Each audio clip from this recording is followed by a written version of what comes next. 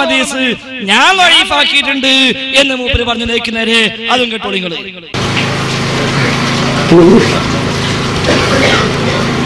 സുജൂതിൽ നിന്ന് എഴുന്നേൽക്കുമ്പോൾ ഇപ്പോൾ ചിലർ മുടി മുടി ആ മുഷ്ടി ചുരുട്ടിയാണ് എഴുന്നേൽക്കുന്നത്. സുഹൃത്തുക്കളെ സെഫുകളില്ല അകറ്റാണ് ഇങ്ങനെ ചെയ്യുന്നത് സുല്ലമിന്റെ അഭിപ്രായത്തിൽ ആ നോക്കി ഇതന്നെയാ പറഞ്ഞത്? ഞാൻ അറുപത് അരീസ് ലൈഫാക്കിയിട്ട് മുജാഹിദ് എന്തെങ്കിലും നഷ്ടപ്പെട്ടുള്ള സ്വന്തത്ത്? നിങ്ങൾ അറുപത് അരീസ് ലൈഫാക്കി ലൈഫാക്കിന് പറയില്ലാതെ കൂട്ടർ ഞാൻ ഒരു ലൈഫ് ലൈഫാക്കിയോണ്ട് മുജാഹിദ് പ്രസ്ഥാനം വിശ്വസിച്ചു പോകുന്ന ഏത് വിശ്വാസത്തിനെ നഷ്ടം സംഭവിച്ചത്? ഏത് സുന്നത്തെ അവർക്ക് നഷ്ടപ്പെട്ടത്? ലൈഫായ അതീതാക്കി മുജാഹിദ് മാറ്റം വന്നിട്ടില്ല. ബുഹാരി അറുപത് അരികളായിരുന്നു ബുഹാരി മുസ്ലിം മുജാഹിദ് പ്രസ്ഥാനം നടന്നു പോകുന്ന പ്രവർത്തനത്തിനോ വിശ്വാസത്തിനോ മാറ്റില്ല അപ്പൊ കണ്ടോ ബുഖാരിയിലെ അറുപതോളം ഹദീസ് ഞാൻ വഴീഫാക്കിയിട്ട് മുജാഹിദ് പുസ്തകത്തിന്റെ കോട്ട ടീന മുജാഹിദ് പുസ്തകം വഴീഫാക്കിയെന്നല്ല. മുജാഹിദ് പുസ്തകം വഴീഫാക്കിയെന്നല്ല. ഞാൻ വഴീഫാക്കിയിട്ട് മുജാഹിദ് പുസ്തകത്തിന്റെ നഷ്ടം വന്നു?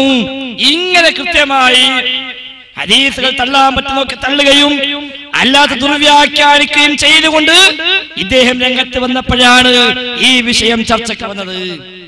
അപ്പൊ അതുകൊണ്ട് അദ്ദേഹത്തിന് ശിഷ്യനായി വന്ന സക്രിയ സുരാഹി ഇദ്ദേഹത്തിന്റെ ഈ ചിന്തകളെ സ്വാധീനിക്കുക സ്വാഭാവികം. അത് ബോധപ്പെട്ടപ്പോ തിരുത്തി. ഞങ്ങളുടെ തിരുത്താത്തത്ര പലിശ ഹലാലാണ് മുസ്തഫൽ പൈസ എഴുതിയിട്ട് കൊല്ലത്രായി.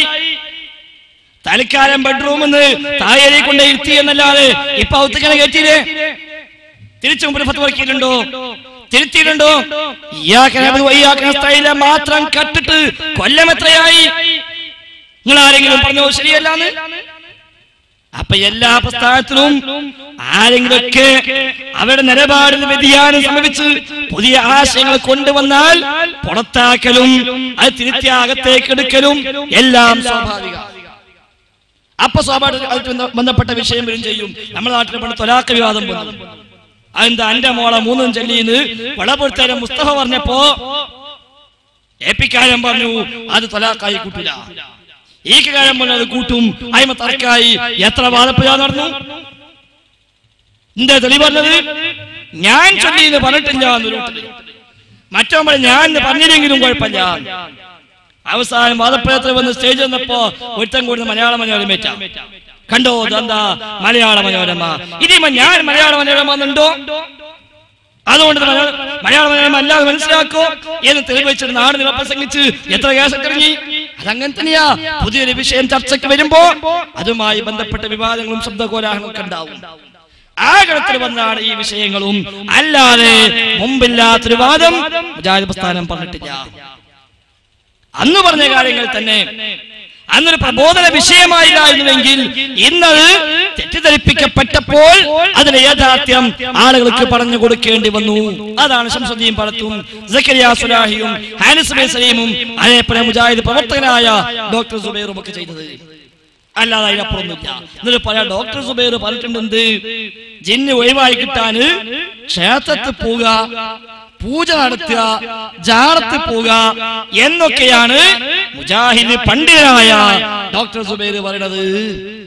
എന്നിട്ട് മൂപ്പനാ ഭാഗത്ത് ജാറത്ത് പോണ ശരിയാകുമ്പോൾ അംഗീകരിക്കുന്നുണ്ട്. ആ ഒന്ന് കിട്ടിയതിലേക്ക് പറഞ്ഞേട്ടാ മറ്റു അംഗീ- അംഗീകരിക്കണില്ലായിരിക്കും ദൈവാന്ന് വിശ്വാസം എവിടെയും പോകാതല്ലേ അതിന് സമയം കാണിക്കുന്നുണ്ട്. ക്ഷേത്രത്തിക്കല്ല ക്ഷേത്രത്തിൽ പോയിട്ട് നിങ്ങൾ എന്തും ചെയ്യാൻ പത്ത് കൊടുത്ത് നമ്മളെടുത്ത് പറഞ്ഞിട്ട് ഈ സ്ഥലമൊക്കെ കാണിക്കും.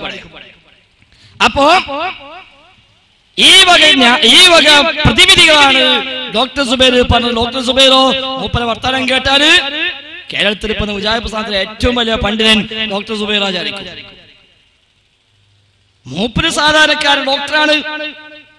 അദ്ദേഹം ഇവിഷയമായി താല്പര്യമെടുക്കുകയും അതും അന്വേഷിക്കാനും പഠിക്കാനും തയ്യാറാവുകയും ചെയ്തു. ആ പഠനത്തിൽ അദ്ദേഹത്തിന് ബോധ്യപ്പെട്ട ചില കാര്യങ്ങളും അദ്ദേഹത്തിലുള്ള ചില അനുഭവങ്ങളും അദ്ദേഹം പറഞ്ഞു അത്രേ ഉള്ളൂ. അത് ആ ക്ലിപ്പൊക്കെ ഉണ്ട്. എന്റെ അനുഭവമാണ്. എന്റെ അനുഭവമാണ്. ഇബിന് തേമിയ പറഞ്ഞിട്ടുണ്ട്. ഇബിന് കൈമ പറഞ്ഞിട്ടുണ്ട്. എന്ന് പറയുക മാത്രം ചെയ്യുന്നത്. അല്ല പ്രസ്താവന നിലപാടുകളാക്കിയിട്ടുണ്ടതല്ല പിന്നെ ഇബിന് തേമിയുടെ കിതാബിലുണ്ട്. ജിന്ന് മനുഷ്യനെ ഉപദ്രവിക്കുമെന്ന് പറയുമ്പോ എന്തിനാ ജിന്നെ ഉപദ്രവിക്കുന്നത് ചർച്ചയുണ്ട് പണ്ഡിതന്മാർക്കിടയിൽ ഇമാം ചർച്ച ചെയ്തിട്ടുണ്ട്. ചർച്ച ചെയ്തിട്ടുണ്ട്. ഇബിന് കയ്യമും ധാരാളമായി ചർച്ച ചെയ്തിട്ടുണ്ട്. അങ്ങനെ ഈ ചർച്ചകളിൽ എന്തിനാണ് ജിന്നുകൾ മനുഷ്യരെ ഉപദ്രവിക്കുന്നത്? ഒരു പക്ഷേ മനുഷ്യരുടെ ഭാഗത്തുനിന്ന് ജിന്നുകൾക്ക് വല്ല എന്തെങ്കിലുമൊക്കെ ആക്രമണങ്ങൾ നേരിടേണ്ടി വന്നേക്കാം.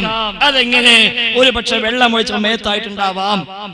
ഒരു പക്ഷെ തേങ്ങയിട്ടപ്പോ താഴെ പെട്ടിട്ടുണ്ടാവാം. ഒരു പക്ഷെ വടിയെറിഞ്ഞപ്പോ അതിനുള്ളിൽ പെട്ടിട്ടുണ്ടാവാം. ഇങ്ങനെ കാരണങ്ങളാലായിരിക്കാം അവർ നമ്മോട് ശത്രുത കാണിക്കുന്നത്. എന്ന് ഇബിന് തൈമിയും ഇബിന് കയ്യമും അടക്കമുള്ള പല ഇമാമിയങ്ങളും തങ്ങളുടെ ഗ്രന്ഥങ്ങളിൽ അവരുടെ ഊഹമായി ധാരണയായി ഇങ്ങനെ ആയേക്കാം എന്ന് പറഞ്ഞിട്ടുണ്ട്. അതങ്ങനെ പറഞ്ഞിട്ടുണ്ട് എന്നെന്ത് ചെയ്യാം? ഇവരെടുത്ത് പറയാം. അതാണ് ഒഴിവാക്കിയിട്ട്. പിന്നെ പറഞ്ഞിട്ടുണ്ട് എന്നാണ് ഒഴിവാക്കിയിട്ട് എന്തയ്യാ ഇതാണ് കണ്ടോ? അതാ പല നിലപാട് എൺപത്തിനാല് കൊല്ലം പ്രചരിപ്പിച്ചു ഇപ്പൊ മാറ്റി. അപ്പൊ ഡോക്ടർ സുബൈർ ആദ്യമായപ്പെട്ട അദ്ദേഹം ഒരു പണ്ഡിതനല്ല. അദ്ദേഹം ഔദ്യോഗിക സ്ഥാനത്തുള്ള ആളല്ല. എന്നാ മുജാഹിദ് പ്രവർത്തകനാണ്. മുജാഹിദ് പ്രസ്ഥാനത്തിന് ആദർശം സ്വീകരിച്ചവരാണ് മുജാഹിദ് പ്രസ്ഥാനത്തിന് പല വേദികളും ഒരുപക്ഷെ അദ്ദേഹത്തെ കാണാറുമുണ്ട്. അദ്ദേഹം തന്നെ പറയട്ടെ അദ്ദേഹത്തിന് എന്താ എത്രമാത്രം ഇൽമുണ്ട്? അദ്ദേഹം പണ്ഡിതനാണോ അല്ലേ? അദ്ദേഹത്തിന്റെ വാക്കുകൾ തന്നെ നിങ്ങൾ ശ്രദ്ധിക്കുക. എന്നിട്ട് ബാക്കി ഭാഗത്തേക്ക് കിടക്കാം. എന്നെ സംബന്ധിച്ചിടത്തോളം ഞാൻ ആധികാരികമായി അറബി ഭാഷയിൽ വൈദഗ്ധ്യമുള്ള ആളോ ഒരു പണ്ഡിതനുമല്ല എന്നെ സംബന്ധിച്ചിടത്തോളം ഞാൻ ആധികാരികമായി അറബി ഭാഷയിൽ വൈദഗ്ധ്യമുള്ള ആളോ ഒരു പണ്ഡിതനുമല്ല രണ്ടു പ്രാവശ്യം കേൾപ്പിച്ചു അദ്ദേഹം വിട്ട ക്ലിപ്പ് ഏത് കേസറ്റിനാണോ എടുത്തത്? അതേ കേസറ്റ് ആരംഭിക്കുമ്പോൾ അദ്ദേഹം പറഞ്ഞ വാക്കാണ് എന്നെ സംബന്ധിച്ചോളം ഞാൻ എന്തല്ല അറബി ഭാഷയിൽ വൈദഗ്ധ്യമുള്ള ആളല്ല. ആധികാരിക പണ്ഡിതനല്ല. ഒരു ഡോക്ടറാ. അദ്ദേഹം ഈ വിഷയത്തിൽ ചില ആളുകളുമായി ബന്ധപ്പെട്ടപ്പോ ഈ വക വിഷയങ്ങളിൽ ചില കാര്യങ്ങൾ അദ്ദേഹം ശ്രദ്ധയിൽപ്പെടുകയും അതിന് പഠിക്കാൻ താല്പര്യമുണ്ടാകുകയും പലരുമായി ബന്ധപ്പെടുകയും അങ്ങനെ പല കാര്യങ്ങളും മനസ്സിലാക്കുകയും ചെയ്തു. ജിന്നിനെയും പിശാചിനെയും പ്രവർത്തനങ്ങൾ ആ വക അനുഭവങ്ങൾ കൂടി വെച്ചുകൊണ്ട് അദ്ദേഹം എന്തൊരു ആൾക്ക് വിശദീകരിച്ചു കൊടുത്തു. അത് മാത്രം ഉണ്ടായത് അങ്ങനെ ജിന്ന ഉപദ്രവിച്ചാൽ ജിന്നൊരു മനുഷ്യനെ ആ രൂപത്തിൽ ഒരു പ്രയാസം വരുത്തി വെച്ചാൽ അതിനുള്ള പ്രതിവിധി എന്താ? പരിഹാരം എന്താ? ഇവിടെ സൂചിപ്പിച്ച എന്താ? മൂപ്പർ ക്ലിപ്പിന് കഷ്ടപ്പെട്ടിട്ട് മൂപ്പർ എന്ത് പറഞ്ഞു? അമ്പലത്തിൽ പോവാ. അല്ലെങ്കിൽ ഹോമം നടത്തുക ജപം നടത്തുക ജാളത്തിൽ പോവുക ഈ വക ഏർപ്പാടൊക്കെ ചെയ്യേണ്ടത് എന്നിട്ട് കണ്ടോ ആവും നമ്മളും കൂടി ഇത്ര പറഞ്ഞിട്ടില്ല. എന്താ മൂപ്പര് പറഞ്ഞതറിയോ ഇതൊക്കെയാണ് ആളുകൾ ചെയ്യണത് എന്നാ. ഇങ്ങനത്തെ പ്രശ്നം ഉണ്ടായാൽ അമ്പലത്തിൽ പോകലും അതേപോലെ ഹോമം നടത്തലും ജാറങ്ങളിൽ പോകലും മുട്ടറക്കലും നൂലുകെട്ടലും തകിടെഴുതിക്കെട്ടലും ഉറുക്കും നറുക്കും ഏലസും ഇതൊക്കെയാണ് ആളുകൾ ചെയ്യണത് പക്ഷെ കാഫിറാണ് ഏർപ്പാടാണത് എന്നാ മൂപ്പര് എന്നിട്ട് അതാണ് അടർത്തിയുടെ ഈ കഷ്ണം മാത്രം. അതുകൊണ്ട് ആ അദ്ദേഹം പറയുന്ന ആ ഭാഗം കൂടി ഇതിനുള്ള മൂന്ന് മാർഗം എന്ന് പറയലോ അത് ഏതാണ്? അദ്ദേഹം പറയുന്ന ഭാഗം. അത് നിങ്ങൾ ശ്രദ്ധിക്കുക. അപ്പോൾ പിശാജ് ബാധ ചികിത്സിക്കാനായിട്ട് മൂന്ന് മാർഗങ്ങളാണ് നമ്മുടെ സമൂഹത്തിൽ സാധാരണ സ്വീകരിക്കുന്നത്. ഒന്ന് പിശാജിനെ തൃപ്തിപ്പെടുത്തുക. പിശാജിനെ തൃപ്തി അവന്റെ ആവശ്യം എന്താണ് സാധിച്ചു കൊടുക്കുക ഇപ്പോൾ നമ്മുടെ വീട്ടിൽ കള്ളം കയറിയിട്ട് പറയാണ് എനിക്ക് പതിനായിരം രൂപ വേണം. എന്ന് പറഞ്ഞാൽ പതിനായിരം രൂപ കൊടുത്തു കഴിഞ്ഞാൽ ഒരു പ്രശ്നം ഉണ്ടാവില്ല. പതിനായിരം രൂപ കൊടുത്താൽ അളങ്ങ് പൊക്കോളൂ. അയാളെക്കൊണ്ട് പിന്നെ ഒരു ശല്യം ഉണ്ടാവില്ല. എന്നതുപോലെ പിശാജിനെ തൃപ്തിപ്പെടുത്തുക. പക്ഷേ ഇവിടെ പിശാജിനെ തൃപ്തിപ്പെടുത്തുന്ന മാർഗങ്ങളെല്ലാം ഷിർക്കും കുഫറും നിറഞ്ഞായതുകൊണ്ട് നമുക്ക് സ്വീകാര്യമല്ല. അങ്ങനെ പിശാചിനെ തൃപ്തിപ്പെടുത്തുന്ന കാര്യങ്ങൾ ചെയ്താൽ അവൻ കാഫറായി പോകും. ഇപ്പോൾ ഉദാഹരണം സർപ്പകോപ എന്ന് പറഞ്ഞാൽ എന്താ ചെയ്യുക? സർപ്പബലി നടത്താൻ പറയും. അല്ലെ പാമ്പിൻ പുണ്യാകം അല്ലെ സർപ്പങ്ങൾ നൂറും പാലും നൽകുക അല്ലെ രാഹുപൂജ നടത്തൽ സർപ്പത്തുള്ളൽ നടത്തൽ അല്ലെങ്കിൽ പിന്നെ സർപ്പങ്ങളെ ഇരുത്തുന്ന സ്ഥലങ്ങളിൽ പോയിട്ട് ചില ആരാധന ചെയ്യാനൊക്കെയാ പറയുക. അത് ചെയ്താൽ അവൻ കാഫറായി പോയി. അപ്പൊ അതുകൊണ്ട് തന്നെ നമുക്കത് സാധ്യമല്ല. അതുപോലെ ചില ജാറങ്ങളിൽ പോകാൻ പറയും. ചില ജാറങ്ങളിൽ കൊണ്ട് ചില കുഴിച്ചിടാൻ പറയും. അല്ലെ ചില ജാറങ്ങൾ നേർച്ച കയറാൻ പറയും. അല്ലെങ്കിൽ റിഫായി ഷെയ്ന്റെ പേര് നേർച്ചയാക്കാൻ പറയും. ഇങ്ങനെയുള്ള കുഫറും ചെറുക്കും കലർന്ന പ്രവർത്തനങ്ങളാണ് പിശാചിനെ തൃപ്തിപ്പെടുത്താൻ വേണ്ടി ചെയ്യുന്നത്. ഹോമങ്ങൾ പിന്നെ നൂൽ മന്ത്രിച്ചിട്ട് ഏലസ് ധരിക്കുക ഇതെല്ലാം അവിശ്വാസപ്പെടുന്നത് നമുക്കറിയാം ഫമൻ അല്ലക്ക തമീപത്തൻ ഫഖദാഷറക്ക് ആരെങ്കിലും ഏലസ് കിട്ടിയാൽ അവൻ ഷിർക്ക് ചെയ്തു. കണ്ടോ ഇത്ര കൃത്യമായി അദ്ദേഹം പറഞ്ഞ സംഗതിയാണ്. അയ ഉള്ളെന്ന് എടുത്തിട്ട് കേൾപ്പിച്ച് കണ്ടോ? ജാളത്തിൽ പോവുക അതേപോലെ ഹോമം നടത്തുക ക്ഷേത്രത്തിൽ പോവുക.